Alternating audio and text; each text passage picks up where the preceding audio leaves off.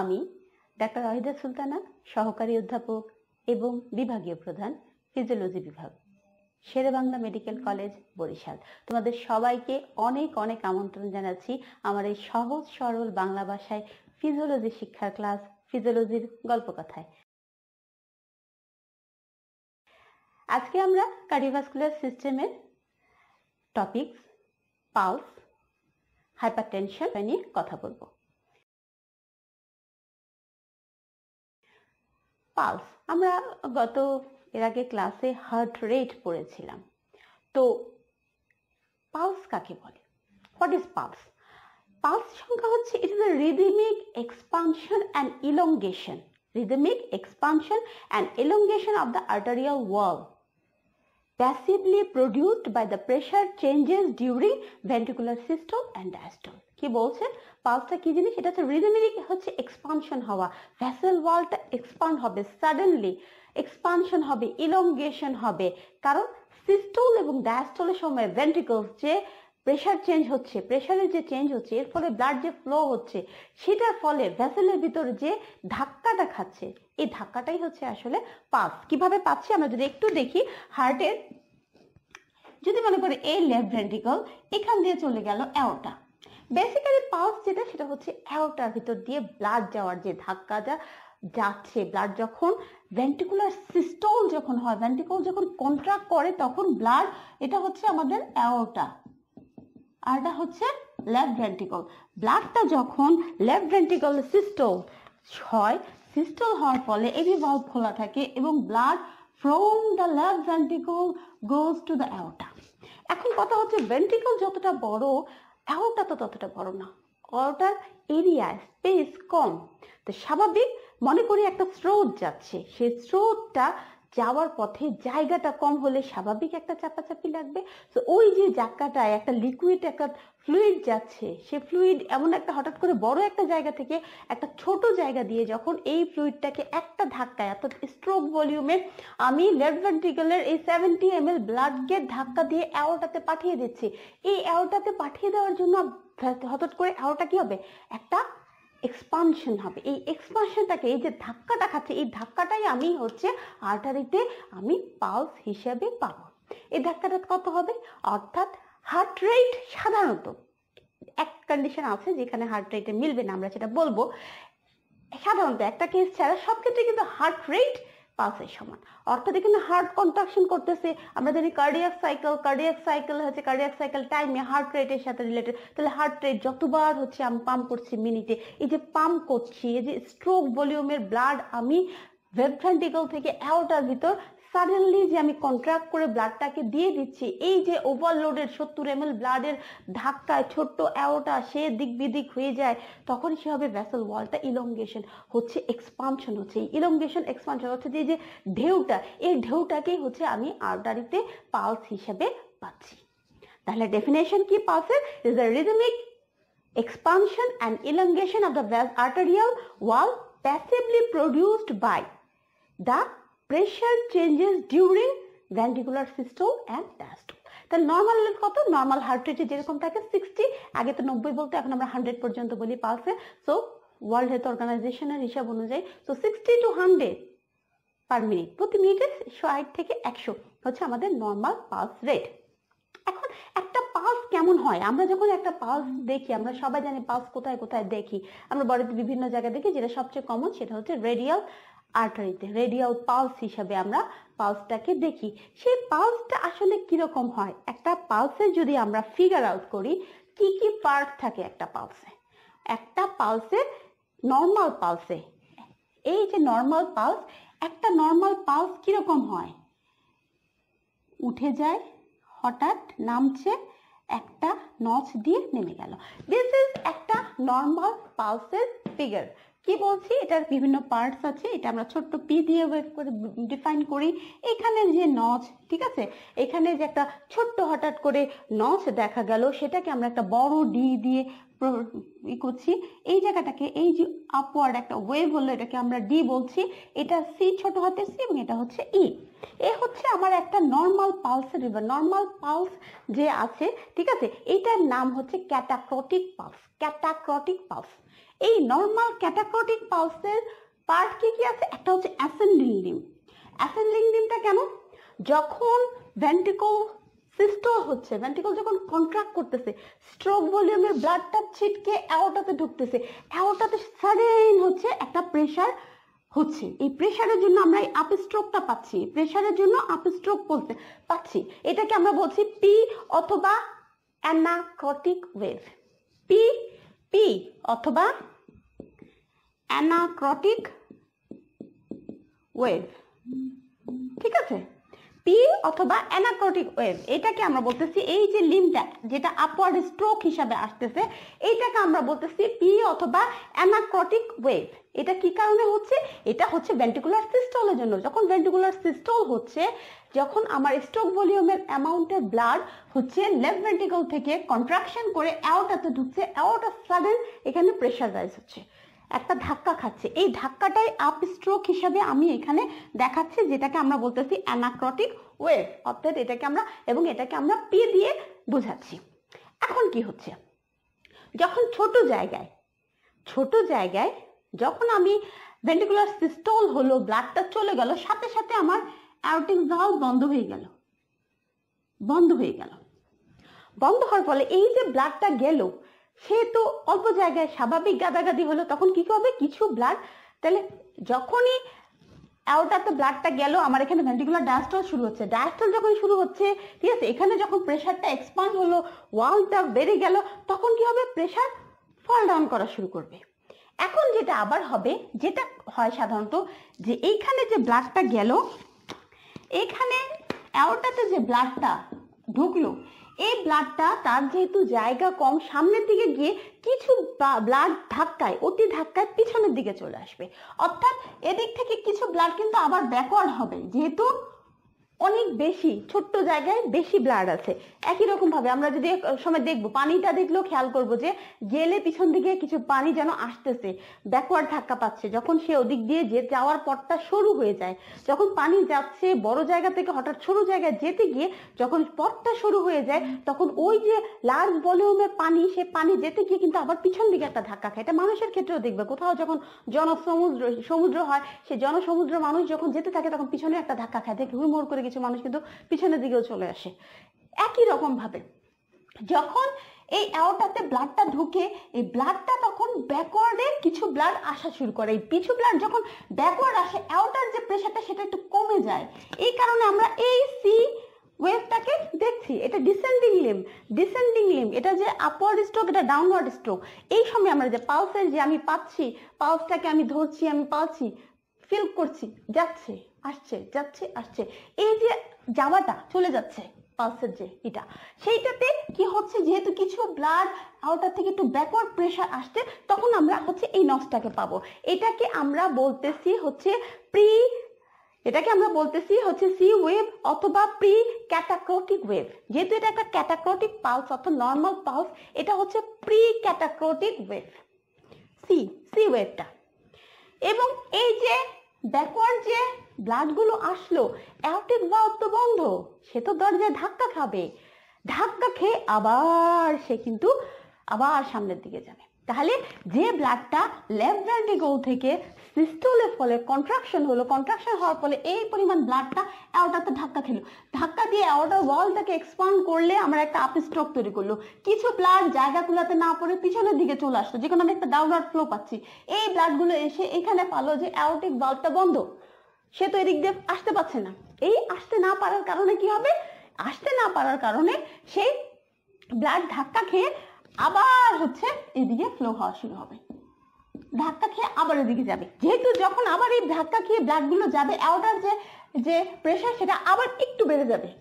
এইটার কারণে আমরা এইখানে এই যে আমার যে উপরের দিকে আরেকটা পজিটিভ ওয়েভ পাচ্ছি, এই ব্লাডটা যখন এসে আবার ধাক্কা খেয়ে চলে যাচ্ছে, ওই সময় যে অ্যাওটাতে একটু প্রেশার বাড়ছে, যেটা ইলংগেশনটা বাড়তেছে, সেইটাকে আমরা পাচ্ছি, এই হচ্ছে ওয়েভ হিসেবে। তাহলে যেখানে আমার ফার্স্ট যে যে পিছনের দিকে আসার কারণে যে ধাক্কাটা খাওয়ার পেলাম, এখানে একটা নচের মতো তৈরি করল।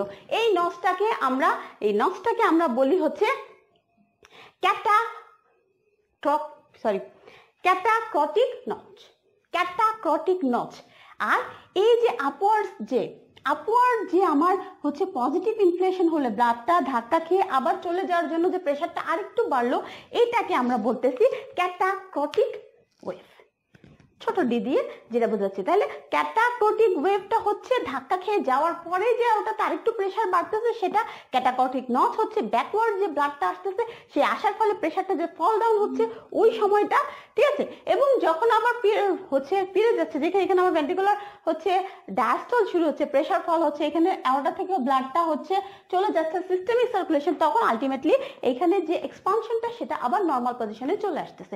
এই যে একটা ছবি, এইটা হচ্ছে আমাদের একটা normal catacrotic wave or normal catacrotic pulse এর ফিগার তাহলে আমি যদি একটু আবার বলি, আমরা বলছিলাম যে একটা নর্মাল যে পালস আছে, যেটা নর্মালি আমরা পাই sixty to hundred beats per minute সেই পালসের মধ্যে পার্টস আছে কি কি? একটা ফিগারের যদি করি, সেখানে আমরা দেখছি যে একটা আপওয়ার্ড স্ট্রোক আছে। কিসের জন্য? যখন ভেন্টিকুলার সিস্টল ভেন্টিকল যখন কন্ট্রাক্ট করে ভেন্টিকল কন্ট্রাক্ট করার ফলে ভেন্টিকুলার সিস্টল যখন হয় স্ট্রোক ভলিউমের পরিমাণে ব্লাড ভেন্টিকল থেকে অ্যাওটাতে চলে যায়। কিন্তু ভেন্টিকল একটা বড় জায়গা অ্যাওটা হচ্ছে ছোট জায়গা। এই লার্জ ভলিউমের ব্লাডে ছোট্ট অ্যাওটা থেকে একটা বিশাল ধাক্কা দেয়। ধাক্কার কারণে এই আপওয়ার্ড স্ট্রোকটা হয়, যেটাকে আমরা পি ওয়েভ অথবা অ্যানাক্রোটিক ওয়েভ বলছি। এরপরে যেটা হয়, যেহেতু অল্প জায়গায় বেশি ব্লাড জায়গা করতে পারে না, কিছু ব্লাড হচ্ছে ব্যাকওয়ার্ড ফ্লো করে। পিছনের দিকে এই পাশে চলে আসে। এই চলে আসার কারণে এই ব্যাকওয়ার্ড আসার পরে এটা কি হয়?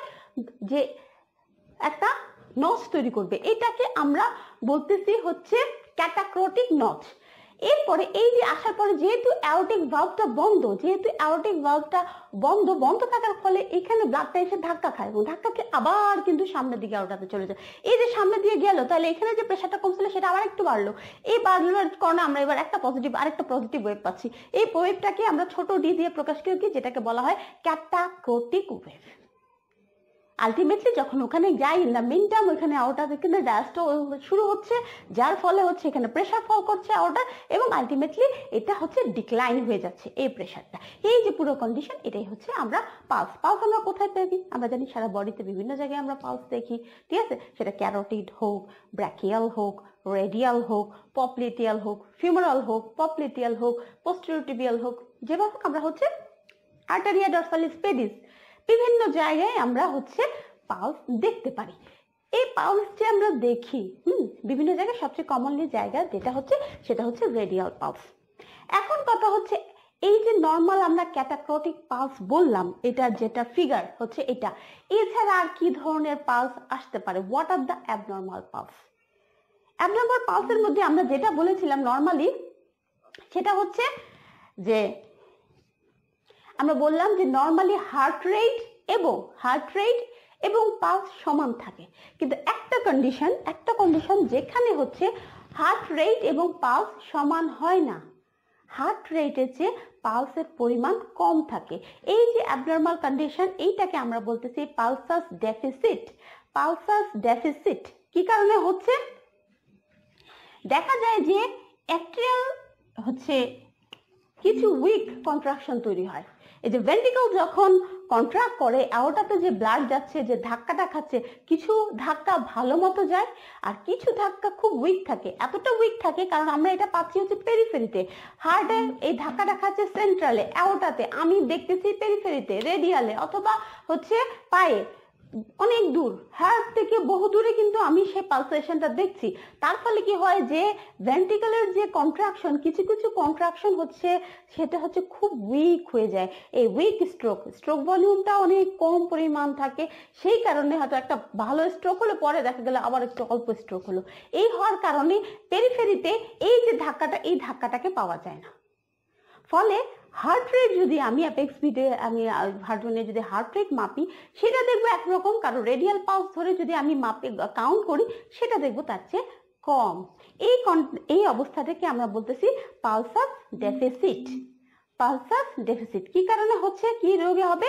অ্যাট্রিয়াল ফিব্রিলেশন নামক একটা জিনিস আছে অ্যাট্রিয়াল ফিব্রিলেশন ঠিক আছে? এই অ্যাট্রিয়াল ফিব্রিলেশনে পালসাস ডেফিসিট পাওয়া যায়। কি কারণে হচ্ছে? আমরা যেটা বললাম যে একটা স্ট্রোক ভলিউম যখন যাচ্ছে, একটা ভলিউম হচ্ছে পালসে যেটা তৈরি হচ্ছে হার্টে হার্ট রেট তৈরি হচ্ছে স্ট্রোক ভলিউম একটা হয়তো তৈরি হচ্ছে। কিন্তু পরেরটা এত দুর্বল স্ট্রোক হচ্ছে যে সেটা আর পেরিফেরিতে আমি পাচ্ছি না। গিয়ে আবার হয়তো আরেকটা স্ট্রোক হয়তো ভালো মতো দিতে পারছে। তারপরে কি হবে? মাঝখানের এই জায়গাটা কিন্তু হার্টবিটে বিট কিন্তু আছে, কিন্তু পালস কিন্তু নেই। এই কন্ডিশনটাকে আমরা বলি পালসাস ডেফিসিট ঠিক আছে? তাহলে এটাকে আমরা বলতেছি পালসাস ডেফিসিট তাহলে it is the only condition in which pulse rate is less than the heart rate একটা মাত্র কন্ডিশন যে কন্ডিশনে পালস রেটটা হার্ট রেটের চেয়ে হচ্ছে কম হবে। ঠিক আছে? তারপরে যেটা আমাদের পড়া, সেটা হচ্ছে, তাহলে একটা হলো অ্যাবনর্মাল পালস পালসাস ডেফিসিট তারপরে যেটা হচ্ছে pulsus alternans pulsus alternans pulsus অল্টারনেন্সে কি হয়? ঠিক আছে? পালসাস অল্টারনেন্সে অনেকটা ডেফিসিটের মতো না, এখানে আবার রেটটা ঠিক আছে। অর্থাৎ প্রত্যেকটা স্ট্রোক ভলিউমিও যাবে। কিন্তু স্ট্রেঞ্জলি প্রথম ওয়েভটার পর সেকেন্ড ওয়েভটা একটু উইক থাকবে। প্রথম ওয়েভ ইটার পরে সেকেন্ড উইকটা অর্থাৎ অল্টার্ড হচ্ছে। একটা স্ট্রোক ভলিউম ভালো মতো যাচ্ছে, পরের যেটা পাস আসছে সেটা উইক পাচ্ছি। একটা পাস ঠিক মতো পাচ্ছি, এরপর একটা উইক পাচ্ছি। একটা পাস ঠিক মতো পাচ্ছি, আবার একটা উইক পাচ্ছি। একটা রেগুলার ম্যানারে অল্টারনেট করে করে হচ্ছে স্ট্রং পালস এবং weak pulse strong pulse weak pulse এরকম করে করে আমরা হচ্ছে এটা পাই। এটাকে বলা হয় অল্টারনেট করে করে যেহেতু পাওয়া হয়, এটাকে বলা হয় পালসেস অল্টারনেস যদি আমরা ছবিটা একটু চিন্তা করি, এখানে যেমন ছিল, এত ছোট যে দেখাই যেত না। আর পালসেস অল্টারনেসে যেটা হয় পালসেস অল্টারনেসে যেটা হবে, যে এই যদি আমার ধর আউটলাইন হয়, তাহলে এখানে আমার একটা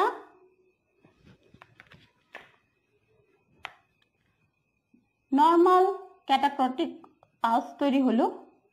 পরের যেটা, সেটা অতটা যাবে না। সে পরের যেটা, সেটা হচ্ছে একটু উইক হবে, একই রকম হবে। রেগুলার রেগুলার ঠিক আছে। কিন্তু তার যে ই, সেটা একটা এরকম করে করে হবে। অর্থাৎ একটা হচ্ছে ঠিক হলে পরেরটা উইক একটা ঠিক হলে পরেরটা উইক অল্টার করে করে করে করে হচ্ছে পালসটা আমরা পাবো। একটা নর্মাল অথবা স্ট্রং স্ট্রোক তারপরে একটা weak stroke strong stroke weak stroke অথবা নর্মাল স্ট্রোক উইক স্ট্রোক এভাবে হচ্ছে আমরা পাবো অল্টারনেটিভ হিসাবে। এইটাকে আমরা বলতেছি পালসেস অল্টারনেন্স এটা কোথায় পাচ্ছি? এটা সাধারণত আমরা পাই যদি হচ্ছে সিভিয়ার মায়োকার্ডিয়াল হচ্ছে ডিজিজ হয়, ঠিক আছে? অথবা অনেক সময় আমরা হচ্ছে অ্যাট্রিয়াল ফিব্রিলেশনেও এই জিনিসটা পাই, যেটা আমরা পাচ্ছি যে অ্যাট্রিয়াল ফিব্রিলেশন একটা জিনিস পালসেস ডেফিসিট যে পাচ্ছি না। একটা সময় দেখা যায় যে হার্ট রেটটা যা পালস তার চেয়ে কম। কিন্তু কিছু কিছু ক্ষেত্রে আবার পেতে পারি যে এরকম একটা স্ট্রোক পাচ্ছি আর একটাতে কম পাচ্ছি। এরকম অল্টারনেট হিসাবেও পাচ্ছি, সেটাকে আমরা বলছি পাল্টা পালসাস অল্টারনেট তবে মাই সিভিয়ার মাইকার্ডিয়াল ডিজিজ আর মাইকার্ডিয়াল ইনফেকশন বা এগুলোতে কিন্তু পালসার অল্টারনেটটা আমরা পেতে পারি। তারপরে যেটা তিন নাম্বার তিন নাম্বার একটা স্ট্রোক হচ্ছে এটা, সেটা হচ্ছে আমরা যে বললাম যে অ্যানাক্রটিক ওয়েভ একটা মজার জিনিস সেটা হচ্ছে অ্যানাক্রটিক পালস এখানে আমরা বলেছিলাম যে পি যে ওয়েভটা সেটা হচ্ছে অ্যানাক্রটিক ওয়েভ এই অ্যানাক্রটিক ওয়েভটা ওয়েভটার ধরনের উপর ভিত্তি করে এই পালসটাকে বলা হয় anacrotic pulse anacrotic pulse anacrotic pulse কি হয়? স্লো এই যে অ্যাসেন্ডিংটা একটা সাডেন স্ট্রোক হলো, সেটা হবে না। কেন হবে না? যদি আমার অ্যাওটার যে ভাল্ব আমরা বলেছিলাম যে স্টেনোসিস হলো, অর্থাৎ ভাল্বটা কি হলো? এই রাস্তা সরু হয়ে গেল। ফলে ভেন্ট্রিকল লেফট ভেন্ট্রিকল যে ব্লাডটাকে দিবে সেই ব্লাডটা তো হ্রাস করে ওটা তো ঢুকতে পারবে না, যেহেতু তার রাস্তাটা সরু। চিকন, তাহলে চিকন রাস্তা দিয়ে সে আস্তে আস্তে যাবে। সেইটাকে এবং যাওয়ার সময় কিছু আবার ব্যাকওয়ার্ড ফ্লো হবে, আসবে। এই কারণে এখানে একটা নচ তৈরি হবে। তাহলে নর্মালি অ্যানাক্রটিক ওয়ে যে শার্প রাইজটা হয়, সেই অ্যানাক্রটিক ওয়েতে কিন্তু সেই শার্প রাইজটা থাকবে না। এবং তাতে কি হবে? একটা হচ্ছে অ্যানাক্রটিক যে নচ এরকম করে একটা নচিং হয়ে তারপরে কিন্তু ধীরে ধীরে হচ্ছে এটা, এটাকে যদি আমরা এরকম করি নচিং হয়ে তারপরে ধীরে ধীরে গিয়ে এটা হচ্ছে পালসটা তৈরি করবে। এই যে কন্ডিশনটা এটাকে আমরা বলতেছি, ঠিক আছে? পালসেস, ঠিক আছে? Anacrotic pulse. অর্থাৎ এই যে পালসটা, অথবা এটা যদি আরেকটু ভালো করে আমরা ছবিটা দেখাই, আমি জানি না, তোমরা বুঝতে পারতেছো কতটুকু। এটা সাপেক্ষে যদি আমরা চিন্তা করি, এটা ছিল আপওয়ার্ড স্ট্রোক অনেক দ্রুত। যেহেতু অ্যাওরটিক স্টেনোসিস আছে অ্যাওরটার হচ্ছে যে বাল্ব সে বাল্বটা ন্যারোইং হয়ে গেছে। এখান দিয়ে ব্লাড ভেন্টিকল থেকে অ্যাওরটাতে হচ্ছে যেতে সমস্যা হচ্ছে। সো অনেক সময় নেবে, সেরকম র্যাপিড আপওয়ার্ড স্ট্রোক দিবে না। এটা এরকম করে আঁকলে বরং আরেকটু ভালো হয়। একটু মোটা করে। সময় নিবে, তারপরে যাবে। এইটা। তাহলে এই যে এটা অংশটাকে, এই যে প্যানাক্রটিক ওয়েভ যেটা ছিল, সে ওয়েভটা কি হচ্ছে? শার্প না। একটু সময় নেওয়া এবং এখানে একটা নচ পাওয়া যাচ্ছে। যেহেতু যেতে বাধাগ্রস্ত হচ্ছে সেই কারণে। এই অংশটাকে, সেটাকে আমরাকে, এই যে পালসটা এই পালসটাকে আমরা বলতেছি হচ্ছে হচ্ছে অ্যানাক্রোটিক পালস তাহলে ওদিকে এটা আমরা pulsus deficit pulsus alternans then anacrotic pulse দেখলাম। আরেকটা পালস যেটা আছে, সেটা হচ্ছে পালসাস প্যারাডক্সাস পালসাস প্যারাডক্সাস কি হয়? আমরা নর্মালি জানি যখন আমরা ইন্সপিরেশন নেই ইন্সপিরেশন নেই, তখন কিন্তু পালস সামান্য বেশি থাকে, বেড়ে যায় ইনক্রিজ করে স্লাইটলি ইনক্রিজ করে। আর যখন এক্সপিরেশন নেই, তখন হচ্ছে পালস হচ্ছে স্লাইটলি ডিক্রিজ করে। কিন্তু এই পরিমাণটা এত এত কম যে আমরা নর্মালি পালস মাপার সময় বা পালস ই করার সময় এটা আমাদের জ্ঞাতার্থে আসে না, খেয়াল করি না আমরা। কিন্তু এমন কিছু কন্ডিশন হয় যখন ইনস্পিরেশনের সময় পালস অনেক বেশি। বেড়ে যায়। আবার এক্সপিরেশনের সঙ্গে পালসের পরিমাণ কমে যায়। অর্থাৎ পালসের যে ভলিউম পালসের যে প্রেশার ঠিক আছে? সংখ্যা না বলে আমরা প্রেশারে বলি যে আপর যে এইটা, যে স্ট্রোকটা সে দিচ্ছে, সেইটার জন্য, ঠিক আছে? তাহলে স্ট্রং হবে। ইন্সপিরেশনের সময় পালসটা আমার অনেক বেশি স্ট্রং থাকবে। কিন্তু এক্সপিরেশনের সময় সেই তুলনায় আমার হচ্ছে পালসটা অনেক উইক থাকবে। যে কারণে আমি ইন্সপিরেশন আর এক্সপিরেশনের সময় যদি খেয়াল করি, শ্বাস নিচ্ছে সে, এই সময় দেখব যে বেশ ভালো একটা আমি পালসের ধাক্কা পাচ্ছি। কিন্তু যখন শ্বাস ছাড়ছে এক্সপিরেশন নিচ্ছে, তখন আমি কিন্তু আর পালসটা ওরকম করে পাচ্ছি না। এই যে কন্ডিশনটা এই কন্ডিশনটাকে বলা হয় পালসাস প্যারাডক্সাস পালসাস প্যারাডক্সাস কি হচ্ছে তাহলে? কখন হবে? এটা সাধারণত হতে পারে ফিজিওলজিক্যালি ফিজিওলজিক্যালি হতে পারে কখন? ডিপ ব্রিদিং যখন আমরা নেই ডিপ যখন ব্রিদিং নিই, তখন কিন্তু ফিজিওলজিক্যালি পালসাস প্যারাডক্সাস হতে পারে। আর অ্যানাটই হচ্ছে প্যাথোলজিক্যালি যদি কার্ডিয়াক ট্যাম্পোনেট থাকে, সেই ক্ষেত্রে কিন্তু হচ্ছে এটা হতে পারে। সো পালসাস প্যারাডক্সাস কীভাবে হয়? আমরা একটা আমরা জানি ইন্সপিরেশন দুই সেকেন্ড এক্সপিরেশন তিন সেকেন্ড ধরে। তাহলে আমি যে একটা মিনিটের হিসাবে পালস যখন দেখা শুরু করছি, আমি যখন ইন্সপিরেশন নিচ্ছে রোগী, আমি তখন এরকম বড় ভলিউমের পালস পাবো। পুরো এইটা ওয়েবটা আমি এঁকে দেখালাম না, ঠিক আছে? এরকম বলে। কিন্তু যখন এক্সপিরেশন হচ্ছে, তখন আমি একেবারে ছোট ছোট উইক পালস পাচ্ছি। অর্থাৎ ইনস্পিরেশনের সময় স্ট্রং ভলিউম বা প্রেশারের হচ্ছে পালস হচ্ছে এক্সপিরেশনের সময়। এটা হচ্ছে ইন্সপিরেশনের সময়। ইনস্পিরেশন। এটা হচ্ছে এক্সপিরেশন। ঠিক আছে? তাহলে ইনস্পিরেশনের সময় আমি একটা হচ্ছে স্ট্রং স্ট্রং হচ্ছে পালস পাচ্ছি। কিন্তু এক্সপিরেশনের সময় উইক পালস পাচ্ছি। এই যে অবস্থাটা, এটাকে আমরা বলা হচ্ছে পালসাস প্যারাডক্সাস। Pulsus paradoxus. ঠিক আছে? তারপরে যেটা আমাদের পালসের ই, সেটা হচ্ছে water hammer pulse or collapsing pulse water hammer pulse or collapsing pulse পানি বা হাতুড়ি, ঠিক আছে? হাতুড়ি নিয়ে আমরা কি করি? নিয়ে ঠাস করে মারি, ঠিক আছে? এইটাও ওই ধরনের। আমরা যে একটা নর্মাল যে এটা ছবিটা আমি যে এঁকে রাখছি, এই যে আপলাম, একটা আপওয়ার্ড স্ট্রোক হলো, তারপরে নচিং হলো ওয়েভ হলো, তারপরে ডাউনওয়ার্ড হলো, এটা হচ্ছে নর্মাল একটা ক্যাটাক্রটিক পালসের উদাহরণ। কিন্তু কিছু কিছু কন্ডিশনে দেখা যায় এইখানে এই ওয়েভটা হয় না। ঠিক এসেনোডের মতো অবস্থা হচ্ছে। ডিপ্লারেশন ডিপ্লারেশন ডিপ্লারেশন ডিপ্লারেশন ঠিক এরকম ভাবে up stroke down stroke up stroke down stroke মাঝখানে কোনো গ্যাপ নচ বা কিছু নেই। এই অবস্থাটাকে আমরা বলতেছি ওয়াটার হ্যামার পালস কারও হাত নিয়ে এরকম উঠালে ঠাস করে মনে হচ্ছে পানি যেন, মনে হচ্ছে পানির কোনো কিছু যেন ঝপ করে পড়ে গেল। মনে হলো যে এইখানে যখন আমি পালসটাকে ধরে রাখছি, হাতটাকে ধরে একটা রোগীর হাত সোজা ছিল, যখন উঠালাম, ঠাস করে যে আমার যে হাতের যে অনুভূতি পালস যে পাচ্ছিলাম তখন মনে হলো নাই হয়ে গেল। এই আমি একটা ভলিউম পাচ্ছিলাম, উঠাতেই হাত ছাট করে মনে হলো যে পালসটা নাই হয়ে গেল। অর্থাৎ ছপাত করে তার পালসটা ফল করে গেল। এই কন্ডিশনটাকে আমরা বলতেছি ওয়াটার হ্যামার পালস কি জন্য হবে? হবে সেই যে আমরা বলেছিলাম যে ব্যাকওয়ার্ড ফ্লো নিচ্ছে ব্যাকওয়ার্ড ফ্লো নেওয়ার পরে দেখতেছে দরজাটা বন্ধ, আবার আর সামনের দিকে আসছে ওয়েভ আছে কিন্তু যদি এই যে ভাল্ভ যেটা আছে আউটিক ভাল্ভ সেই ভাল্ভটা যদি ইনকম্পিটেন্ট থাকে রিগার্জিটেশন বলি আমরা, সেই ইনকম্পিটেন্ট যদি থাকে ভাল্ভ অর্থাৎ যদি রিগার্জিটেশন হয়, তাহলে কি হবে? অ্যাওটার মধ্যে যে ভাল্ভটা আছে, সেই ভাল্ভটা হচ্ছে স্ট্রং না ইনকম্পিটেন্ট তখন কি হবে? দরজাটা সে ভিতরের দিকে চলে এসে দরজা কিছুটা ফাঁক হয়ে যাবে। ফলে ব্যাকওয়ার্ডে যখন প্রেশারটা আমার আসবে ব্যাকওয়ার্ড যে ব্লাডটা পিছনের দিকে আসতেছিল, সে কিন্তু ঠাস করে রিগার্জিটেট হয়ে ভেন্টিকালে চলে আসবে। ফলে কি হবে? আমি যে আপওয়ার্ড স্ট্রোক অর্থাৎ ভেন্টিক্যাল সিস্টল দেওয়ার পরে যে ব্লাডটাকে পাইছিলাম, এরপরে আর কোনো এই ডাউনওয়ার্ড নামতেছে, যেহেতু ব্লাডটা শাট করে দিকে চলে আসলো অ্যাওটার থেকে ভেন্টিকেলে চলে আসলো, সেহেতু ব্লাডটা ফল ডাউন করে যাবে। এই কন্ডিশনটাকে আমরা বলছি ওয়াটার হ্যামার ফল হঠাৎ করে উঠে নাই। হঠাৎ করে উঠে নাই। আপ ডাউন আপ ডাউন এই কন্ডিশনটা হচ্ছে আমরা বলতেছি কোলাপসিং পালস অথবা ওয়াটার হ্যামার পালস কখন হবে? যদি অ্যাওরটিক রিগাজিটেশন থাকে। আরেকটা কন্ডিশন হতে পারে আল্ট্রাভেনাস ফিস্টুলা যদি থাকে সেক্ষেত্রে আমরা হচ্ছে এই ধরনের পালস পাবো। এছাড়া আরও অজস্র পালস আমরা পালসকে আরও অনেকভাবে আপনার ভাব করতে পারি। আমরা যেমন arterial pulse venous pulse capillary pulse এ ধরনের ভাগ আছে। কিন্তু তোমাদের যেহেতু আমাদের ফিজিওলজিতে আসলে পালস নিয়ে যতটুকু আমি বলছি, সেটাও হচ্ছে আসলে ক্লিনিক্যাল সাইডেরই পালসে সাধারণত যেটা হয়, একটা শর্ট নোট আসে বাট জানতে হবে। এই যে অ্যাবনর্মাল পালসগুলো যদি একটু বুঝে নিতে পারো, তাহলে পরবর্তীতে ক্লিনিক্যাল যে জিনিসগুলো আছে, সেগুলো বুঝতে অনেক সুবিধা হবে। তাহলে পালস নিয়ে আমরা একটু একটু যদি রিভিউ করি আমাদের পালসের যে পড়া, ঠিক আছে? সেখান থেকে, তো তার আগে আগে যেটা সবচেয়ে জরুরি জিনিস, সেটা হচ্ছে পালসটা যে আমাদের লাগবে কেন? কি দেখব? আমি যে রোগীর পালস দেখছি, এই পালস আমি কি কি দেখব? কেন দেখব? একটা পালস দেখার সময় আমরা কয়েকটা বিষয় দেখি।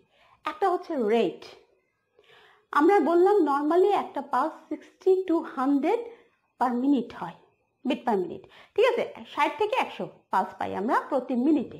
তাহলে, তার রেটটা ঠিক আছে কিনা? তাহলে নর্মাল রেট আছে কিনা? তাহলে যদি নর্মাল থাকে, ভালো। যদি কম থাকে, তাহলে ব্র্যাডিকার্ডিয়া যেটা আমরা বলেছিলাম, যদি বেড়ে যায়, তাহলে ট্যাকিকার্ডিয়া আছে, বেড়ে যাচ্ছে। এরপরে হচ্ছে রিদম রিদম মানে কি?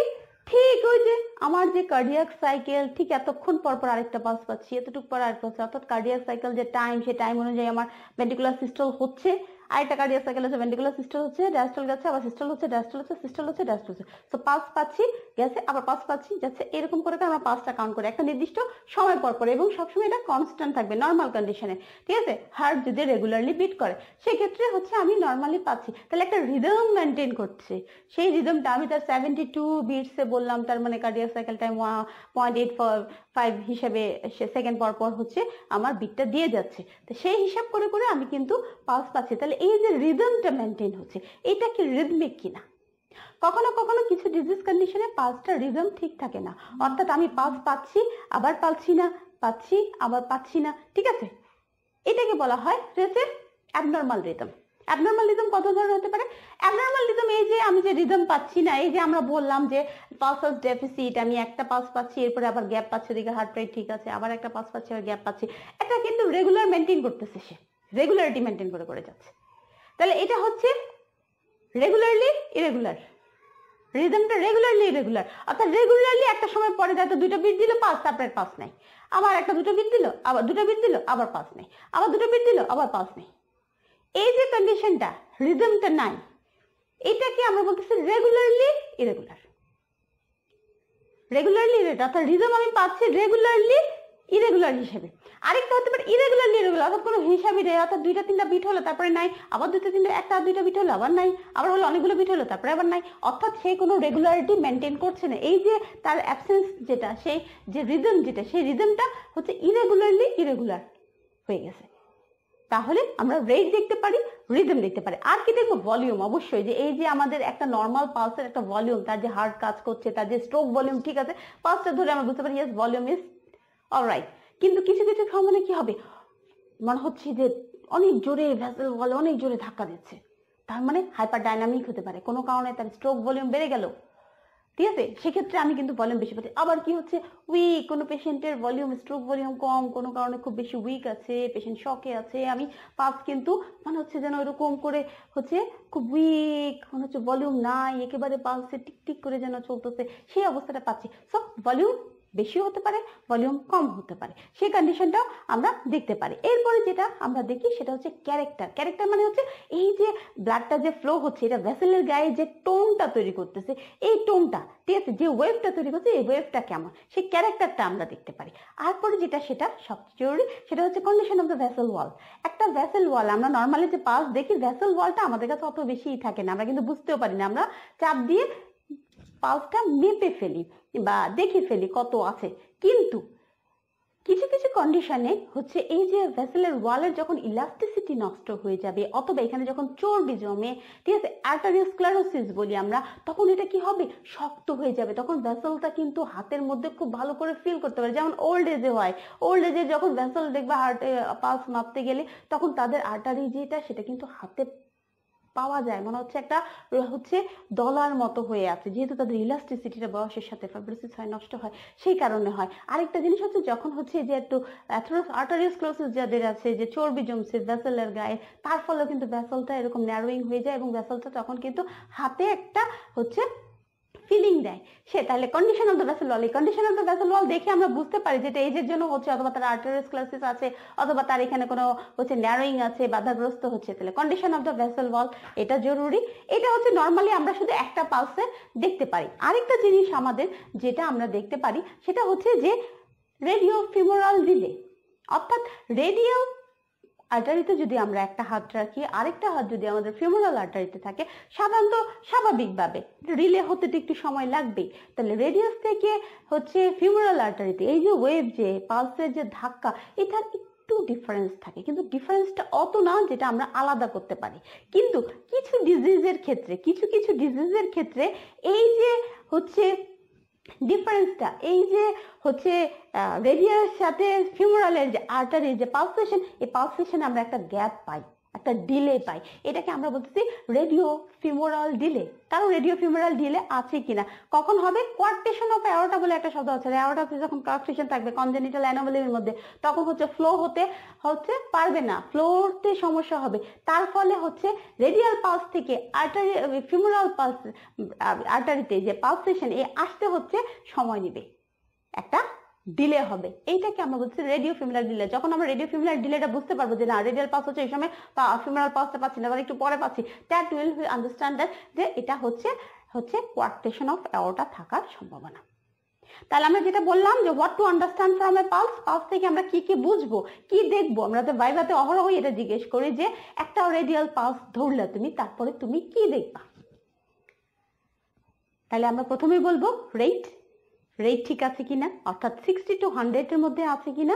অ্যাভারেজ সেভেন্টি টু বা সেভেন্টি টু তোমরা বলবা না, কারণ সবার সেভেন্টি টু থাকে না। অ্যাভারেজলি আমরা বলি সেভেন্টি টু তো সিক্সটি টু হান্ড্রেড এর মধ্যে আছে কিনা? যদি কম থাকে ব্র্যাডিকার্ডিয়া আছে, তাহলে সেটার কোনো কারণ হতে পারে। সেটা ফিজিওলজিক্যাল কারণ হতে পারে, কোনো প্যাথোলজিক্যাল কারণে হতে পারে ট্যাকিকার্ডিয়া হতে পারে, যেটা বেড়ে গেছে। সেটা ফিজিওলজিক্যাল কোনো কারণে আছে, আমি ইমোশনাল এক্সাইটমেন্ট এগুলো চিন্তা ভাবনায় আছি, অথবা হচ্ছে আমার হচ্ছে অন্য কোনো কারণে কোনো হাইপাথাইরয়েডিজম বা অন্য কোনো ডিজিজ আছে। সো তাহলে প্রেশার রেটটা কত? এরপরে হচ্ছে রিদম রিদম মানে রেগুলারলি আমার এই যে পালসটা সেটা একই রকম রেগুলারলি যাচ্ছে কিনা, একটা ডিস্টেন্স যেটা মেনটেন করতেছে, সেটা একই থাকতেছে কিনা। সেটা হচ্ছে রিদম সেই রিদমটা নর্মাল হতে পারে, আর এটা কি হতে পারে? ইরেগুলার হতে পারে। ইরেগুলারটা আবার কীরকম? এই রিদমটা ঠিক নেই। তাহলে রিদম ঠিক নেই মানে হচ্ছে ইরেগুলার রিদম ইরেগুলার ইরেগুলারটা কি ধরনের? হয় রেগুলারলি ইরেগুলার অর্থাৎ ঠিক আবার সে একটা সময়ে ঠিক করে করে হচ্ছে সেই রিদমটা নষ্ট করতেছে। সেটাকে আমরা বলতেছি রেগুলারলি ইরেগুলার আর একটা হচ্ছে কি, যখন তখন আমি হচ্ছে রিদমটাকে পাচ্ছি, সেটাকে আমরা বলতেছি ইরেগুলারলি ইরেগুলার রিদম তারপরে যেটা আমরা বললাম ভলিউম ব্লাডের যে নর্মাল যে আমরা সেভেন্টি এম এল যে স্ট্রোক ভলিউমে দিচ্ছি এটার জন্য আমার পালসের যে ভলিউমটা আমি ফিল করতে পারি যে পালস সে একটা ভলিউমটা ভালো আছে, সেই ভলিউমটা ঠিক আছে কিনা। যে অনেকের হচ্ছে দেখা যাচ্ছে হঠাৎ করে পালসে হাত দিয়ে হচ্ছে মনে হচ্ছে ধাম করে মনে হচ্ছে ভেসেল বলটা খুব জোরে জোরে পাম্প করছে। That is hyper dynamic step হতে পারে। হতে পারে তার এসে ভলিউম বেড়ে গেছে, কোনো কারণে প্রেশার বেড়ে গেছে, এগুলো কারণে হতে পারে। হচ্ছে অথবা সময় উইক পালস হচ্ছে ভলিউম যতটুকু থাকার কথা ততটুকু না, মনে হচ্ছে একেবারে মনে হচ্ছে হাতে লাগছে না, এরকম একটা ধুকে ধুকে মরার অবস্থা চলতেছে। সেটা হচ্ছে উইক পালস হচ্ছে উইক ভলিউম কম ভলিউম কম তার। ঠিক আছে? হাইপোভলিউমিক শকে মানে কন্ডিশন আর হচ্ছে হ্যামারেজ হচ্ছে ভলিউম কমে গেছে সেক্ষেত্রে হয়তো আমি এরকম করে পাচ্ছি না। তো এই যে কন্ডিশনটা সেই ভলিউমটা আমরা দেখব। তারপরে যেটা আমরা বলেছিলাম, সেটা হচ্ছে ক্যারেক্টার এই যে ব্লাডটা যাচ্ছে ভেসেল ওয়ালে গিয়ে, সে যে টোনটা তৈরি করছে ভেসেল ওয়ালের টোনটা, সে টোনটা ঠিক আছে কিনা? তারপরে যেটা বলেছিলাম condition of the vessel wall vessel ওয়ালের কন্ডিশন মানে কি? আমরা নর্মালি হচ্ছে ভেসেল ওয়ালটাকে আলাদা করে ওরকম করে সেপারেট করতে পারি না। আমরা ফার্স্টটা ফিল করি, কিন্তু পুরো ভেসেল ওয়ালটাকে কিন্তু আর্টারিটাকে কিন্তু আমরা ই করি না। কিন্তু যদি আর্টারিওস্ক্লেরোসিস থাকে অথবা এলডারলি এজে ইলাস্টিসিটি হয়ে যায় সেই ক্ষেত্রে কিন্তু আমরা ভেসেলটাকে পুরো একটা ছোট রডের মতো কেমন একটা হচ্ছে ফিল করতে পারব। সেই যে অবস্থাটা, ঠিক আছে? এই অবস্থাটা আছে কিনা এটা দিয়ে আমরা বুঝতে পারি। একটা নর্মাল পার্সনের যদি আমরা এরকম দেখি যে না ভেসেল পাস দেখতে গিয়ে দেখি যে তার ভেসেল তো হাতে এরকম করে লাগতেছে ফিল করতে পারছে that means that may have a chance of arteriosclerosis তার ভেসেলে চর্বি জমতে পারে, তার ন্যারোয়িং থাকতে পারে, সেই কন্ডিশনে আমরা বুঝতে পারব। ঠিক আছে, আরেকটা যেটা বললাম, সেটা হচ্ছে রেডিও ফিউমারাল ডিলে অর্থাৎ রেডিয়াল এবং ফিউমারাল আর্টারির মধ্যে একই সাথে যদি আমরা দুটো হাত রাখি পালসেশন দেখি, সাধারণত আমরা দুটোর মধ্যে ডিফারেন্সটা করতে পারি না, কারণ খুব দ্রুতই হচ্ছে বডিতে এই পালসটা পুরো সবগুলো, পুরো পেরিফেরাল আর্টারিগুলোতে ছড়িয়ে যায়। কিন্তু যদি কোয়ার্টেশন অফ অ্যাওটা থাকে, সেই ক্ষেত্রে আর্টারি থেকে ফিউমারালে যেতে ডিলে হবে, সেই জন্য তখন আমরা একটা রেডিও ফিউমারাল ডিলে পাবো। ঠিক আছে? তো তাহলে আমাদের যেটা, সেটা হচ্ছে পালস পালস নিয়ে মোটামুটি আমাদের যতটুকু পড়া সেটা আজকে আপাতত এইটুকু।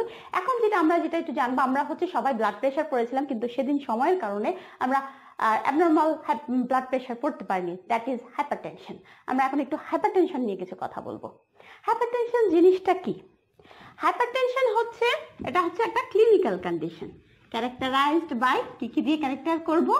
হচ্ছে persistent rise of the pressure persistent rise of blood pressure above normal normal in response to in response to age and sex or in respect to in respect to age and sex বয়স এবং sex অর্থাৎ লিঙ্গ হিসাবে আমার যে normal pressure থাকা কিন্তু persistently যদি এর থেকে বেশি থাকে সেটাকে আমরা বলতেছি hypertension so it is a clinical condition characterized by persistent rise of blood pressure above normal level কত normal level one fifty by ninety millimeter of mercury অর্থাৎ সিস্টোলিক ওয়ান ফিফটির উপরে সবসময় থাকতেছে ডায়াস্টোলিক নাইনটির উপরে নাইনটি নাইনটির উপরে থাকতেছে। এখন অবশ্যই এটা নিয়ে অনেক ক্লিনিক্যাল সাইডে অনেক চেঞ্জ আসছে নাইনটিটাকেও এখন অনেক অ্যাবনর্মাল অনেক কি করছে। তো এর উপরে যদি ব্লাড প্রেশার থাকে ঠিক আছে? আহ, সেই ক্ষেত্রে এটাকে আমরা বলতেছি হাইপারটেনশন হাইপারটেনশন কতগুলো হবে ক্লিনিক্যালি সাধারণত আমরা হাইপারটেনশন দুটো ভাগে ভাগ করে হচ্ছে, একটা হচ্ছে অ্যাসেনশিয়াল হাইপারটেনশন আর প্রাইমারি হাইপারটেনশন প্রাইমারি হাইপারটেনশন কিসের? আমাদের অধিকাংশ অনেক মানুষেরই হচ্ছে প্রাইমারি হাইপারটেনশন থাকে, যেটা কজ খুঁজে পাওয়া যায় না, যে তার প্রেশার বাড়ছে কেন প্রেশারটা বাড়লো? কোনো কোনো রোগ নেই অন্য কিছু নেই তার প্রেশার বাড়ছে বেশি। কি কারণে প্রেশার হচ্ছে বাড়ছে? সেই যে unknown cause hypertension due to unknown cause এটা আমরা ইডিওপ্যাথিক বলি। যখন কারণ খুঁজে পাওয়া যায় না, তখন ওই জিনিসটাকে বলা হয় ইডিওপ্যাথিক সো ইডিওপ্যাথিক কজ কোনো কজ পাচ্ছি না। সেই ইডিওপ্যাথিক কজের জন্য যখন পারসিস্টেন্টলি প্রেশারটা রাইজ হবে আপওয়ার্ড থাকবে, তখন এটাকে আমরা বলব প্রাইমারি হাইপারটেনশন আর এসেনশিয়াল হাইপারটেনশন ঠিক আছে? এসেনশিয়াল হাইপারটেনশনের প্রেশার কত থাকে? এটার আবার দু ধরনের টাইপ থাকে। একটা হচ্ছে বিনাইন আর একটা হচ্ছে ম্যানিগনেন্ট বিনাইন মানে হচ্ছে প্রেশার বাড়বে, কিন্তু এমন যে প্রথম দিকে আমি যদি রেস্টে রাখি, অথবা কোনো সিডেটিভ ইউজ করি, তাকে তার ঘুম ই করে, তখন তার প্রেশারটা আবার নর্মালে চলে আসতেছে। এবং এই যে প্রেশারটা কখনোই দুইশো দশ, একশো দশের উপরে যাবে না। অর্থাৎ সিস্টোলিক দুইশো দশ ডায়াস্টোলিক একশো দশ এর উপরে সে যাবে না। এটাকে আমরা বলতেছি বিনাইন হাইপারটেনশন বিনাইন মানে হচ্ছে যেটা দিয়ে খুব বেশি ক্ষতি হওয়ার সম্ভাবনা নাই। ঠিক আছে? খুব বেশি ক্ষতিকারক না। সেটা হচ্ছে বিনাইন ঠিক আছে? তাহলে দুইশো দশ, একশো দশের মধ্যে তার প্রেশারটা থাকতেছে বা তার নিচে থাকতেছে এবং প্রথম দিকে কিন্তু আমরা যখন এই রোগীটাকে হয় হচ্ছে স্লিপ রেস্ট নিতে বললে অথবা সিডিটিভ ইউজ করলে পেশেন্টটা কিন্তু প্রেশারটা নর্মালে চলে আসে। অর্থাৎ অ্যান্টি হাইপারটেনসিভ প্রেশারের জন্য কোনো ওষুধ ইউজ না করেই তার প্রেশার কন্ট্রোল করা যাচ্ছে। কিন্তু একটা সময় এই পারসিস্টেন্ট এরকম রাইজ করতে করতে এমন লেটের একটা পর্যায়ে পৌঁছে যখন কিন্তু এই বিনানি স্টেজেও স্লিপ বা সিডেটিভ দিয়ে তার প্রেশার কন্ট্রোল করা যায় না, তখন কিন্তু এই পার্সনকে হচ্ছে ওষুধের শরণাপন্ন হতে হয়। এটা হচ্ছে বিনাইলের লেটার স্টেজে কয়েক বছর থাকতে যদি এরকম থাকতে থাকে, থাকতে থাকতে একসময় তার কিন্তু অবশ্যই পারসিস্টেন্ট তার হচ্ছে ওষুধের প্রয়োজন হয় অ্যান্টি হাইপারটেনসিভের প্রয়োজন হয়। এই কন্ডিশনে আমরা বলতেছি বিনাইল হাইপারটেনশন ম্যালিগনেন্ট হাইপারটেনশন কি? হঠাৎ করে অনেক বেশি প্রেশার পাওয়া গেল। সাডেনলি একটা রোগী কোনো কারণ নেই, কিছু খুঁজে পাচ্ছি না, কিন্তু তার প্রেশার অনেক বেশি এত বেশি যেটা কোনোভাবেই নামানো যায় না। এটা হচ্ছে ম্যালিগনেন্ট অর্থাৎ খুব ক্ষতিকারক একটা ব্লাড প্রেশার এবং এইসব রোগীদের blood pressure two sixty one fifty এবং অ্যাবভ থাকে। টু সিক্সটি ওয়ান ফিফটি দেখা যাচ্ছে তাদের হচ্ছে সিস্টোলিক দু, দুশো ষাট ডায়াস্টোলিক একশো পঞ্চাশ। হ্যাঁ এবং এই ধরনের কন্ডিশন যে যে হাইপার টেনশন অর্থাৎ ডায়াগনোসিস হচ্ছে, তখন রেস্ট সিডেশন ড্রাগ সবকিছু দিয়েই হচ্ছে তার প্রেশার কন্ট্রোল করা মুশকিল হয়ে যাচ্ছে। এগুলোকে আমরা বলতেছি হচ্ছে ম্যালিগনেন্ট হাইপারটেনশন এবং ম্যালিগনেন্ট হাইপারটেনশন পেশেন্টের ক্ষেত্রে একটা কিন্তু সমস্যা হচ্ছে, সেটা হচ্ছে এই পেশেন্টগুলোকে বাঁচানো মুশকিল হয়ে যায়। কারণ এদের হচ্ছে প্রত্যেকটা মাল্টি অর্গান এত এত বেশি প্রেশারের মধ্যে থাকে। এক সময় যেটা হয়, এই যে ছোট যে ভেসেলগুলো আছে, এদের যে ইন্টিমাগুলো আছে, এই ইন্টিমাগুলো ছিঁড়ে যায়। অত্যাধিক ব্লাডের প্রেশারের কারণে ইন্টিমাগুলো ছিঁড়ে যায় যে কারণে তাদের প্রথম চোখে হেমোরেজ হওয়ার সম্ভাবনা থাকে। রেটিনা ভেঙে ছিঁড়ে যাচ্ছে রেটিনার মধ্যে ব্লিডিং হচ্ছে ব্রেইনে ব্লিডিং হতে পারে, তো এই ধরনের কার্ডিয়াক অ্যারেস্ট হতে পারে। এই ধরনের মাল্টি অর্গানের সমস্যা হতে পারে। এই ধরনের ম্যালিগনেন্ট হাইপারটেনশনের পেশেন্টের ক্ষেত্রে বলা হয়ে থাকে যে, এটা সাধারণত ডায়াগনোসিস করা দু এক মাসের মধ্যেই পেশেন্ট কিন্তু মারা যাওয়ার সম্ভাবনা আছে। তো তাহলে এসেনশিয়াল হাইপারটেনশন আমরা বললাম যে দুটো ধরনের, একটা হচ্ছে বিনাইন আর একটা হচ্ছে ম্যালিগনেন্ট এখন যেটা, আরেকটা যেটা, সেটা হচ্ছে আমাদের প্রাইমারি হাইপারটেনশনের মধ্যে ছিল এটা প্রাইমারি আর এসেনশিয়াল আরেকটা যেটা, সেটা হচ্ছে সেকেন্ডারি প্রাইমারি থাকলে অবশ্যই সেকেন্ডারি থাকবে। সেকেন্ডারি হাইপারটেনশন কি? অন্য কোনো রোগ আছে, সেটার কারণে যদি হচ্ছে আমার প্রেশার হয় হাইপারটেনশন হয়, তখন এটাকে আমরা বলতেছি সেকেন্ডারি হাইপারটেনশন সেকেন্ডারি হাইপারটেনশন কি কারণে হতে পারে? সেকেন্ডারি হাইপারটেনশন হচ্ছে কারও যদি রেনাল ডিজিজ থাকে, কিডনিতে থাকে। আমরা সবাই জানি যে আমাদের ইন্টারমিডিয়েট এবং long term regulation of the blood pressure যে আছে, সেই long term and intermediate regulation of blood প্রেশারের মেইন কাজ হচ্ছে কিডনি। তাহলে সে কিডনি যদি ইফেক্টেড থাকে, সে কিডনি যদি রোগ থাকে, তাহলে তার যে renin angiotensin vasoconstriction renin angiotensin aldosterone যে মেকানিজম আছে, সেই মেকানিজমগুলো হ্যাম্পার থাকবে। তার ফলে কিন্তু সে ব্লাড প্রেশার কন্ট্রোল করতে পারবে না এবং তার ফলে কিন্তু এই রোগ সব রোগীদের প্রেশার বেশি থাকবে, এই জন্য কিডনি রোগী যারা ক্রনিক কিডনি রোগে সিকেডি বলি আমরা ক্রনিক কিডনি ডিজিজে যারা ভুগে সিকেডিতে ভুগে, তাদের কিন্তু হাই প্রেশার থাকে। তাদের প্রেশার বা কমানো কিন্তু একটু মুশকিল থাকে। তাহলে যদি সিকেডি থাকে আর যদি হচ্ছে ভলিউম হার্টের কোনো ডিজিজ থাকে, সেক্ষেত্রেও কিন্তু প্রেশার মেনটেন করা হচ্ছে কঠিন হবে। আরেকটা জিনিস খুব জরুরি, সেটা হচ্ছে সেটা হচ্ছে যে আমাদের যে অ্যাড্রেনাল গ্ল্যান্ড আছে হ্যাঁ? অ্যাড্রেনাল গ্ল্যান্ডে এটা ফার্স্ট ইয়ারের জন্য বোঝা একটু মুশকিল হবে। সেকেন্ড ইয়ারে খুব ভালো করে বুঝতে পারবা। আমাদের যে কিডনি তার উপরে যে টুপির মতো একটা হচ্ছে এন্ডোক্রাইন গ্ল্যান্ড আছে, যার নাম হচ্ছে অ্যাড্রেনাল গ্ল্যান্ড আর সুপ্রারেনাল গ্ল্যান্ড এই গ্ল্যান্ডের দুইটা ভাগ আছে, একটা হচ্ছে কর্টেক্স আর একটা হচ্ছে মেডুলা এই মেডুলা যে আছে, সেই মেডুলাতে যদি টিউমার হয়, তখন ইপিনেফ্রিন নরফ্রিন অনেক বেশি বের হয়। আমরা জানি এরা সবাই হচ্ছে কি করে ভেসো কনস্ট্রিকশন করে ব্লাড প্রেশার বাড়ায় টোটাল পেরিফেরাল রেজিস্ট্যান্স বাড়িয়ে দেয়। ভেসো কনস্ট্রিকশন করে এবং টোটাল পেরিফেরাল রেজিস্ট্যান্স বাড়িয়ে এরা হচ্ছে প্রেশার বাড়িয়ে ফেলে। তাহলে যদি টিউমার হয়, এর নাম হচ্ছে ফিক্রোমোসাইটোমা এই যে কন্ডিশনটা এই কন্ডিশনটাকে আমরা বলি ফি ক্রোমোসাইটোমা ফি ক্রোমোসাইটোমা যদি থাকে, তাহলে অ্যাড্রেনাল মেডুলার টিউমারের জন্য ফিটাকে বলা হয় ফি ক্রোমোসাইটোমা সেক্ষেত্রে কিন্তু হচ্ছে অ্যাড্রেনাল মেডুলা থেকে প্রচুর পরিমাণ অ্যাড্রেনাল নন অ্যাড্রেনালিন যে হরমোন সেগুলো সিক্রেশন হয়। এবং সেদের স্টিমুলেশনের কারণে, এদের ভ্যাসো কনস্ট্রিকশন স্টিমুলেশন সিম্পথেটিক স্টিমুলেশন এর কারণে কিন্তু ব্লাড প্রেশার ওদিকে কার্ডিয়াক আউটপুট হার্ট রেট বেড়ে যায়, এদিকে ভ্যাসো কনস্ট্রিকশনের টোটাল পেরিফেরাল রেজিস্ট্যান্স বেড়ে যায় টোটাল ব্লাড বেড়ে যায়। এবং এই যে ফি ক্রোমোসাইটোমা এদের ক্ষেত্রে কিন্তু ম্যালিগনেন্ট হাইপারটেনশন পাওয়া যায়। অর্থাৎ এদের প্রেশার কিন্তু সহজে কমানো যায় না। অনেক বেশি যখন ডায়াগনোসিস হয় প্রেশার অনেক বেশি হচ্ছে রেঞ্জড অবস্থায় পাওয়া যায়। আরেকটা কারণে হতে পারে, সেটা হচ্ছে আমরা সবাই জানি রেনিন সিক্রেট করে, হচ্ছে এনজিওটেন্সিন ওজনকে এনজিওটেনসিন মনে পরিণত করতেছে। রেনিন যেটা হচ্ছে আমাদের ব্লাড প্রেশার মেনটেন করতেছে। এই যে রেনিন রেনিন সিক্রেট করতেছে জ্যাক্সট্রা গ্লোমেরুলার সেল এই যে হচ্ছে জ্যাক্সট্রা গ্লোমেরুলার অ্যাপারেটাস এইখানে জ্যাক্সট্রাগ্লোমেরুলার সেলের মধ্যে যদি কোনো টিউমার হয় জ্যাক্সট্রাগ্লোমেরুলার যদি কোনো টিউমার হয় সেলের জ্যাক্সট্রাগ্লোমেরুলার সেলের টিউমার যদি হয়, তখন প্রচুর পরিমাণ রেনিন সিক্রেশন হয়। যেহেতু জ্যাক্সট্রাগ্লোমেরুলার সেলগুলোর সংখ্যা বেড়ে যাচ্ছে, তার প্রচুর রেনিন সিক্রেশন করবে। আর এই রেনিন সিক্রেশনের জন্য এনজিওটেনসিন টু এর পরিমাণ বেড়ে যাবে, ওদিকে অ্যালডেস্ট্রনের পরিমাণ বেড়ে যাবে, এদিকে হচ্ছে এক্সট্রাসেলুলার ফ্লুইড ভলিউম বেড়ে যাবে, ওদিকে হচ্ছে ভাসাকনস্ট্রিকশন হবে আলটিমেটলি কিন্তু ব্লাড প্রেশার অনেক বেড়ে যাবে। সো জ্যাক্সট্রাগ্লোমেরুলার সেল হচ্ছে আরেকটা কারণ সেকেন্ডারি কজ সেটা হচ্ছে ব্লাড প্রেশার বাড়াতে পারে। এখন এগুলো তো হচ্ছে নর্মাল প্রাণীদের ক্ষেত্রে। আমাদের ফিজিওলজিতে খুব জরুরি একটা জিনিস আছে, সেটা হচ্ছে এক্সপেরিমেন্টাল এনিমেলের ক্ষেত্রে আমরা এই হাইপার টেনশনের একটা মজার এক্সপেরিমেন্ট করতে পারি। বিজ্ঞানী গোল্ড ব্লাড নামক একজন বিজ্ঞানী এই এক্সপেরিমেন্টটা করেছিলেন। উনি যেটা করেছিলেন সেটা হচ্ছে যে মেনলি আমাদের যে বডির যে যে কিডনির যে রেনিনের ফাংশন অ্যাকশন এটাকে বোঝার জন্যই যেটা যে একটা কুকুরের একটা কিডনিকে ফেলে দেওয়া হলো। কেটে ফেললাম নেফ্রেক্টমি করে ফেলা হলো। এবং আরেকটা যে কিডনি ছিল, সেই কিডনির যে রেনাল আর্টারি ছিল, সেই আর্টারিতে একটা হচ্ছে কনস্ট্রিক্টর বসিয়ে দেওয়া হলো। অর্থাৎ ভ্যাসেলে যতটুকু ব্লাড যাওয়ার কথা ছিল, তার চেয়ে কম যাচ্ছে।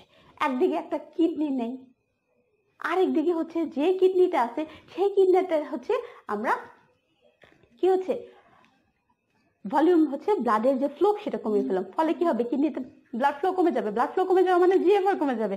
জিএফআর কমে যাওয়া মানে হচ্ছে প্রক্সিমাল কনভলিউটেড টিবিউসে সোডিয়াম রিঅ্যাবজর্পশন হবে, তাহলে ডিস্টাল কনভলিউটেড টিবিউস অর্থাৎ জাক্সটাগ্লোমিলার অ্যাপারেটাসের মধ্যে যখন এই ফিল্ট্রেশনটা যাবে সোডিয়াম থাকবে না সোডিয়াম ক্লোরাইড কম থাকবে, ফলে ম্যাকুলার সেল স্টিমুলেটেড হবে, তার মানে রেনিন সিক্রেশন হবে।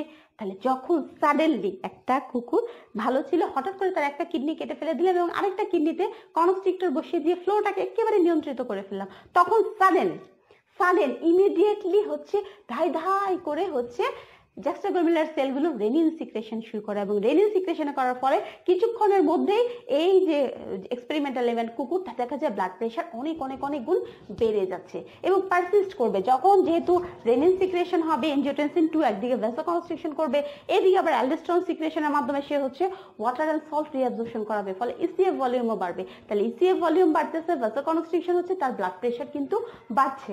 ঠিক আছে? তাহলে এটা যদি একটা, হচ্ছে আমরা চিন্তা করি যে, তাহলে রেনিন সিক্রেশন যেটা হবে, সেটা হচ্ছে পাঁচ, সাত দিনের মধ্যে তার renin high level of renin তৈরি হয়ে যাবে। হাই লেভেল অফ হচ্ছে রেনিন সিক্রেশন হবে। আর অপরদিকে যে ব্লাড প্রেশার ছিল, সেই ব্লাড প্রেশারও কিন্তু সিস্টোলিক ব্লাড প্রেশারটা কিন্তু অনেক গুণ বেড়ে যাবে। তার যে সিস্টেমিক ব্লাড প্রেশার সেই সিস্টেমিক ব্লাড প্রেশারটাও কিন্তু মিন ব্লাড প্রেশার যেটা, সেটা হচ্ছে কিন্তু অনেক গুণ বেড়ে যাবে। এদিকে রেনিন সিক্রেশন বেড়ে যাচ্ছে, স্বাভাবিকভাবে ব্লাড প্রেশার বেড়ে যাবে। এই যে কন্ডিশনটা এইটাকে সেই বিজ্ঞানী যার হচ্ছে নাম হচ্ছে গোল বল ব্ল্যাড ঠিক আছে? গোল ব্ল্যাড সেই গোল ব্ল্যাডের অনুযায়ী, এটার নামটা যদি আমরা একটু লিখে দিই ডাবল ঠিক আছে? গোল ব্লাড এই গোল ব্লাডের নাম অনুযায়ী যেহেতু একটা কিডনি দিয়ে হাইপারটেনশন ডেভেলপ করতেছে, এটাকে বলা হয় one kidney Goldblatt hypertension one kidney Goldblatt hypertension এবং খুব মজার ব্যাপার হচ্ছে কি, যখন এই যে রেনিন হাই পিক আপ হয়ে গেল, তার মানে কি হবে? অ্যালডোস্টেরন সিক্রেশন হচ্ছে সোডিয়াম রিঅ্যাবজর্পশন হচ্ছে ওয়াটার রিঅ্যাবজর্পশন হচ্ছে ইসিএফ ভলিউম অনেক বেড়েছে। যখন ইসিএফ ভলিউম বেড়ে যায়, পাঁচ, সাত দিন হয়ে যায় ইসিএফ ভলিউম হবে অ্যাট্রিয়া কিন্তু কি হচ্ছে? এক্সপানশন হচ্ছে। আমরা যারা এন্ডোক্রাইন পড়েছি, তারা একটা শব্দ পড়েছিলাম, সেটা হচ্ছে অ্যালডোস্টেরন স্কেপ অর্থাৎ যখন অ্যাট্রিয়া এক্সপান্ড হবে, এই এক্সট্রা অ্যাট্রিয়া এক্সপান্ড হওয়ার জন্য কিন্তু এএনপি বের হয় অ্যাট্রাল নাইট্রোটিক পেপটাইড বের হবে। অ্যাট্রাল নাইট্রোটিক পেপটাইডের কাজ হচ্ছে সোডিয়াম বের করে দাও অর্থাৎ এদিকে অ্যালডোস্টেরন থাকার পর হাই লেভেল অ্যালডোস্টেরন থাকার পরও কিন্তু সে সোডিয়াম বের করে দিচ্ছে। সোডিয়াম যখন বেরোচ্ছে তখন ওয়াটার নিয়ে যাচ্ছে। তাহলে এসিএফ ভলিউম যেটা বাড়ছিল, সেটা কিন্তু এই পরে কিন্তু স্লো ডাউন হয়ে যেতে পারে। এটা নর্মালি হতে পারে। আরেকটা জিনিস যেটা হচ্ছে, সেটা হচ্ছে তুমি এই যে আমরা যে কিডনিতে কিডনিতে আমরা বলেছিলাম একটা কিডনি, সেই একটা কিডনিতে যে রেনাল আর্টারি সেই আর্টারির উপরে আমরা একটা কনস্ট্রিক্টর বসিয়েছিলাম। এবং যখন আমরা এই কনস্ট্রিক্টরটা সরিয়ে দিচ্ছি, যখন সরিয়ে দিচ্ছি, তখন কিন্তু ফ্লোটা বেড়ে যাচ্ছে এবং তখন কিন্তু আবার যে এই যে ব্লাড প্রেশার সেটা কিন্তু আবার নেমে নর্মালের দিকে চলে আসতেছে। এই যে কন্ডিশনটা এই কন্ডিশনটাকে আমরা বলতেছি one kidney Goldblatt hypertension এখন অন্যখানে কি হবে? একই ব্যাপার ঘটতে পারে দুটো কিডনির ক্ষেত্রে। মনে করি হচ্ছে দুটো কিডনি আছে তার। দুটো কিডনি আছে কিন্তু একটা kidney normal normal blood flow হচ্ছে। নর্মাল হচ্ছে পারফিউশন হচ্ছে, অর্থাৎ কিডনিতে ঠিক মতো ব্লাড যাচ্ছে। কিন্তু আরেকটা কিডনিতে একটা কনস্ট্রিক্টর বসিয়ে দেওয়া হলো। দুটো কিডনি। ঠিক আছে? এই যে দুটো কিডনি, এটা নর্মাল এখানে কোনো কিছু করলাম না। কিন্তু এখানে যে রেনাল আর্টারি আছে, এটাতে যে রেনাল আর্টারি আছে, এই আর্টারিতে এখানে আমি হচ্ছে একটা কনস্ট্রিক্টর বসিয়ে দিলাম। রেগুলেটর বসিয়ে দিয়ে এর ফ্লোটাকে নিয়ন্ত্রণ করে ফেললাম। এর ফ্লোটাকে নিয়ন্ত্রণ করে ফেললাম। ফলে কি হবে? এই কিডনি কিন্তু নর্মাল এই কিডনিতে হচ্ছে রক্ত চলাচল স্বাভাবিক আছে রেনিন এনজিওটেন্সি নর্মাল কাজ করতেছে। কিন্তু যখন এই কিডনিটার হচ্ছে আমরা কনস্ট্রিক্টর দিয়ে দেই কনস্ট্রিক্টর দেওয়ার ফলে কি হবে? যে এই যে ব্লাড ফ্লো কিডনিতে, সেই কিডনির যে ব্লাড ফ্লো সেটা কমে যাবে। স্বাভাবিক এখানে তখন কি হবে? এখানে তখন রেনিন অ্যাঞ্জিওটেনসিন সিস্টেমটা আবার অ্যাক্টিভেটেড হবে। তাহলে সেই তখন কি হবে? স্বাভাবিকভাবে একই রকম যখন এই কিডনিতে হচ্ছে ব্লাড ফ্লো কমে যাবে, তাহলে এই কিডনিতে জিএফআর কম হবে। জিএফআর যখন কম হবে, সেই আগের গল্প জিএফআর যখন কম হবে, তখন প্রক্সিমাল কনভলিউটেড টিবিউসে সোডিয়াম ক্লোরাইড রিঅ্যাবজর্পশন হয়ে যাবে। যখন ডিস্টাল কনভলিউটেড টিবিউস আছে জাক্সটাগুলার অ্যাপারাটাসে যাবে, তখন সোডিয়ামের কনসেন্ট্রেশন কম থাকবে। এটা দেখে ম্যাকুলার স্টিমুলেটেড হবে। সে হচ্ছে রেনিনকে হচ্ছে জাক্সটাগুলার সেলকে স্টিমুলেটেড করে রেনিন সিক্রেট করাবে। তাহলে রেনিন তখন এনজিওটেনসিন ওয়ান তৈরি করবে, সেখান থেকে এনজিওটেনসিন টু তৈরি হবে। সেই এনজিওটেনসিন টু হচ্ছে এসে এক হচ্ছে ভ্যাসোকনস্ট্রিকশন করাবে। আরেকটা জিনিস সেটা করাবে, সেটা হচ্ছে অ্যালডোস্টেরন সিক্রেশনের মধ্যে সোডিয়াম এবং হচ্ছে ওয়াটার রিঅ্যাবজর্পশন করাবে। কিন্তু কিডনি যে এই যে রেনিন সিক্রেশন করালো, সে তো শুধু এই কিডনিতে কাজ করবে না। এটা যেহেতু ব্লাডে ছড়িয়ে যাবে, তাহলে ওই যে এক্সট্রা রেনিন সিক্রেজেস এই যে রেনিন সিক্রেশন সে যে এনজিওটেনসিন টু তৈরি করল অ্যালডোস্টেরন সিক্রেশন বাড়ালো সেটা তো এসে এই কিডনিতেও তো কাজ করবে। তাহলে একটা কিডনি হ্যাম্পার্ড হচ্ছে ব্লাড ফ্লো কিন্তু এর ফলে যে ইফেক্ট এটা কিন্তু দুটো কিডনিতেই কাজ করতেছে। দুটো কিডনিতে তখন ওয়াটার এবং সল্ট রিঅ্যাবজর্পশন বেড়ে যাবে আলটিমেটলি সেভ ভলিউম বাড়বে এবং কিন্তু আমার ব্লাড প্রেশার বাড়বে। এই যে এই কন্ডিশনটাকে এটাকে বলা হয় two kidney Goldblatt hypertension two kidney যেহেতু দুটো কিডনি আছে, তাহলে এই দুটোকে আমরা বলছি two kidney Goldblatt hypertension ঠিক আছে? তাহলে এখানে আমরা যেটা বললাম হাইপারটেনশনের যে এক্সপেরিমেন্টাল এনিমেলের ক্ষেত্রে বেসিক্যালি হচ্ছে রেনিন এনজিওটেনসিনের অ্যাকশনটা যে অবস্থাটা বোঝার জন্য এক্সপেরিমেন্টাল এমিন এনিমেলে আমরা যেটা প্রথমে বললাম যে ওয়ান হচ্ছে গোল্ড ব্লাড নামের যে হচ্ছে সায়েন্টিস্ট ছিলেন, উনি হচ্ছে করলেন কি? প্রথমে হচ্ছে একটা কুকুরের একটা কিডনি কেটে ফেলে দিলেন এবং আরেকটা কিডনি যে রেনাল আর্টারি আছে, সেই আর্টারিতে একটা কনস্ট্রিক্টর বসিয়ে তার ভিতরে যে ব্লাড ফ্লো হচ্ছে সেটাকে কমিয়ে দিলেন। কমিয়ে দেওয়ার ফলে স্বাভাবিক একদিকে একটা কিডনি নেই, আরেকদিকে হচ্ছে ফ্লো কমে গেলে। তাহলে সেখানে রেনিন এনজিওটেনসিন স্টিমুলেশন হবে এবং প্রচুর পরিমাণে সাডেনলি খুব বেশি পরিমাণে রেনিন সিক্রেশন গড় করে রেনিন বের হওয়া শুরু হবে। কারণ কি? তার একটা কিডনি নাই আর এখানে ফ্লো কম, তার মানে টোটাল বডি হিসেবে তার জিএফআর একেবারেই কমে গেছে সল্ট কমে গেছে সোডিয়াম কমে গেছে। তাহলে সে তখন র্যাপিডলি রেনিন সিক্রেশন হওয়া শুরু করে কয়েক ঘণ্টার মধ্যে খুব র্যাপিডলি রাইজ অফ সই হচ্ছে রেনিন হবে এবং এনজিওটেনসিন প্রোডাকশনও হবে। এই অবস্থাটা চলতে থাকে ফাইভ টু সেভেন ডেজ তাহলে এই যে, তারপরে হচ্ছে বডি হচ্ছে এই প্রেশারের সাথে হচ্ছে অ্যাডজাস্ট হয়ে যাবে।